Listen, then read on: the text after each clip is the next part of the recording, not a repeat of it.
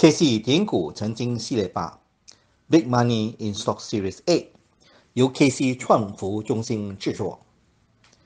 Enzo 还可以吗？二零二零年六月二十六日，当报章刊出 Enzo 九三四二或颁发总值十三亿 Ringgit 的供应合约，为期四十个月，就有人问我：Enzo 还可以吗？这是买在谣传时，卖在确定时的股项，要买也不是现在，再等等吧。基本上，这只股的买入讯号是在二零二零年五月十四日出现，那时才零点零二。如果您在五月十四日买入五百万股，在消息以二零二零年六月二十六日。出来时以零点一八估出，可以净赚七十九万五千零四十八 ringgit，回酬率七百九十点四十七八千，等待期四十三天。如果您没有十万投资金，而只有一万投资金，也可以买入五十万股，也可以净赚七万九千四百二十四 ringgit 八十 cent，回酬率。七百八十九点七十一八千。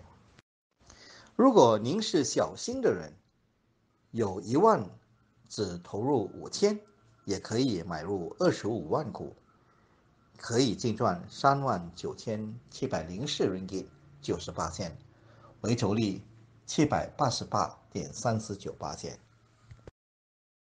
如何在消息出来之前就知道这只股可以买？那是有功夫的。如果您想知道，就来参加我吴老师的股市达人实战课程，我就会毫无保留地告诉您了。Enzo 几年前发生很多精彩的故事，那是前尘往事了。